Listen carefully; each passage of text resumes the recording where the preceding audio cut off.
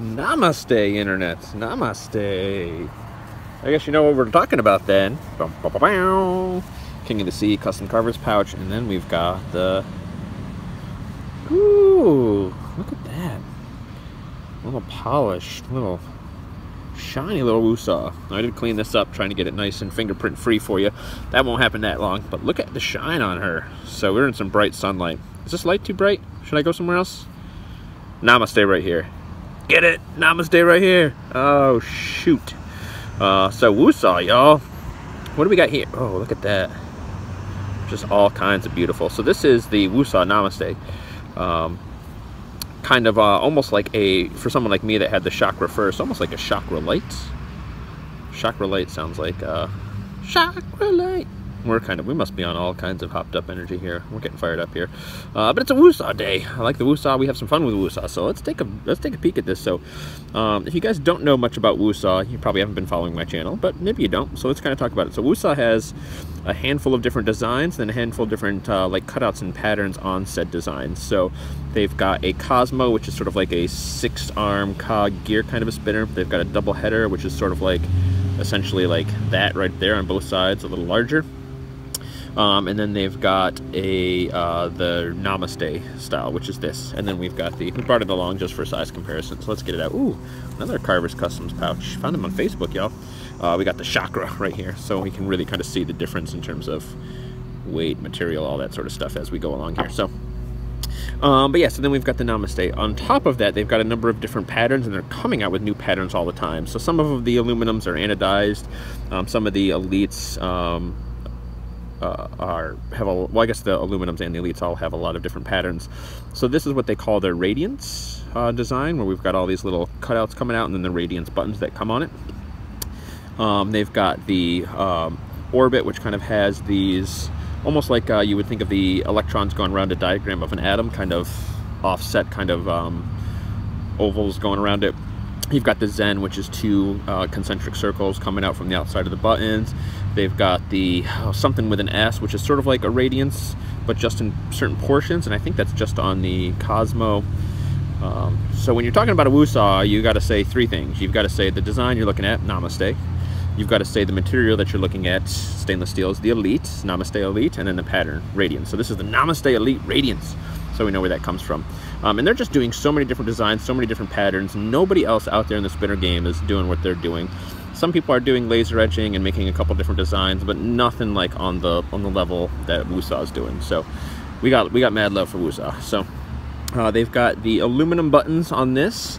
Uh, now they are starting to come out with stainless steel buttons, so uh, all the haters really don't have anything left to say. Um, once the stainless steel buttons come out, I mean, what else can you say other than just just being mean? we don't want to be mean to those guys. That's a family company and they're good people. So let's weigh them, shall we? Since there's a bit of a difference in weight and then that might come into play with the rest of what we're to talk about here. So we'll turn this on. Now, if you remember from my WooSah video, or my WooSah, my Chakra video, we're talking 88.8 grams, so we'll see how close to calibrated we are right now. Oh, and I had different buttons, so 86.9, 87, um, so that's probably right where we expect to be.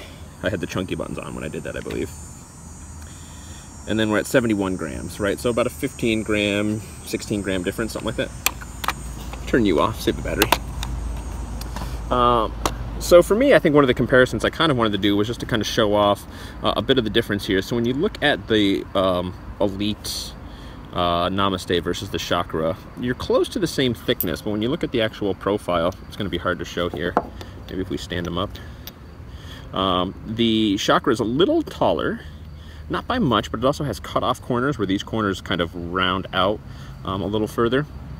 Um, it also has these raised weights that are part of the body, so the actual material that you're machining is at least that thickness more on each side. Um, so you can kind of see how much thicker the stainless steel has to be for that, um, which also adds a little, quite a bit more machining time, quite a bit more finishing work. So that's a big reason why you're looking at um, 80, 90 bucks for the chakras, and you're looking at pretty much 45 for these guys, just so you know. Um, but it's also lighter, so if you're thinking about a chakra and you're not really sure, or you're worried about the weight because it is a little on the heavier side, get yourself a uh, get yourself a Namaste. And the Namastes are good, y'all. So let's talk about these bad boys. So they got the one drop bearing in here. Let's get under the hood, take the shoes off. See it on bare feet. Every once in a while, not too often, but every once in a while when I hear the term bare feet, I think of like a person with actually like the bear, the animal's feet. Is that silly? So we got that O-ring, which I don't know if anybody else really using. We got such bright sunlight out here. I'm sorry about the fingerprints. They don't look any, I mean, it is a fingerprint magnet because it's polished in this particular version. Um, if you don't like fingerprints, they make a lot of different material uh, uh, finishes. The industrial finish, whew, daddy likes. Um, but anyway, I also like polished. Um, yeah, I'm not aware of anybody else really doing this kind of O-ring style retention method, which is pretty quick and easy to get the O-ring out of there. You just pop it out with like a little, you know, push pin or something like that. Um, and then you've got that one drop bearing in there. You can kind of throw any bearing you like in there. Hex uh, bearings work really nice in here if you want a little bit of that feedback. So, um, but they're nice. Um, so spin characteristics, you know, if, you, if you've heard me talk about the chakras, the one thing first and foremost, they make sure that they're fidgetable, right? So when you look at this guy, we got nice rounded edges. I think the term for that is filleted. So we got some filet mignon edges here. What a cut. Oh, the puns are just rolling today. They're just rolling off the tongue. Um, so we got some nice polished edges, nice and round, nice little groove here. Um, so aesthetically, it actually looks pretty nice, especially with these radiant buttons. I like the look of that. Um, but fidget-wise, boom, look where your figure lands in there. Oh, that's so good. Oh, maybe we'll pull from the outside. Oh, that's so good. Let me try and stop it again, see where my finger lands. Oh, right in the middle. We'll pull from the middle. Oh, that works. What about up here? Oh, my finger just caught in there. Did you see it just fit right in there? Boom, good. What if we push it from there? Oh, that works too. What if I catch it on the arm? Oh, that's good. That's good. That's good. That's good. That's good. Any way you want to fidget with. First and foremost, WooSahs are fidgeters. So if you're one of those fidgeter guys, um, this is going to be right up your alley. Um, spin time wise, it's really hard to talk about spin times in these guys with the one drop bearings.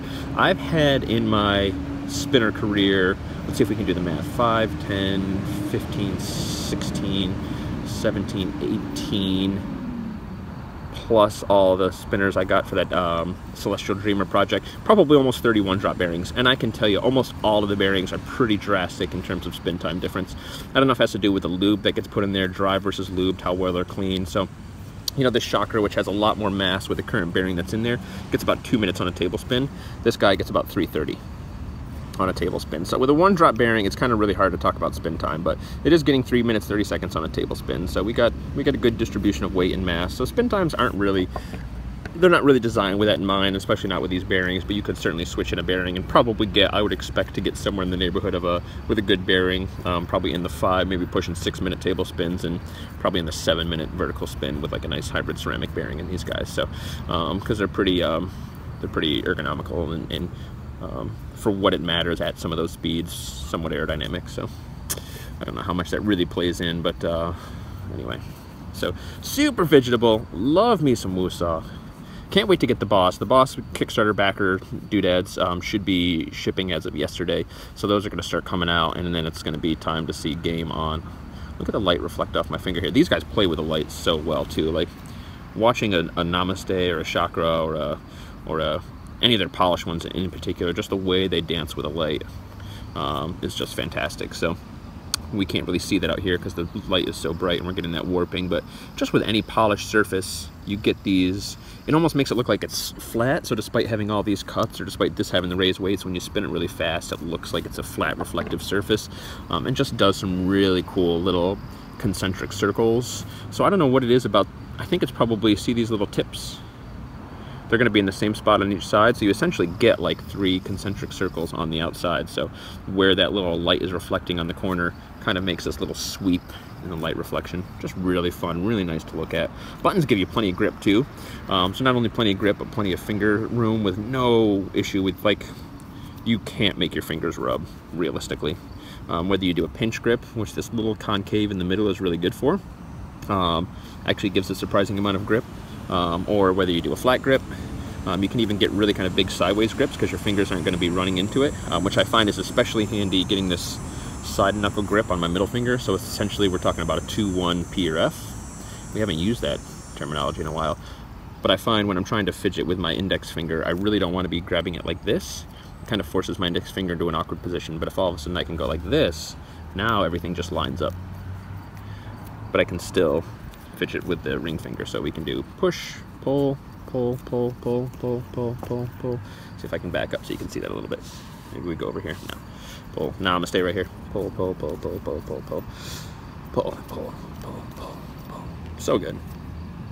Um, so really, you can't beat these. And again, for 45 bucks, US made, US finish, one drop bearing, super smooth, super fidgetable, mirror polish. I mean, you talk about that uh, V2 Focus being a deal, being a bargain, right? You know, 20 bucks for, for that guy, and it is a bargain. Um, you know, to, to go that next step, to basically spend another 25 bucks and go from a Focus to a, to a Namaste or a, or a Cosmo or a double header Elite.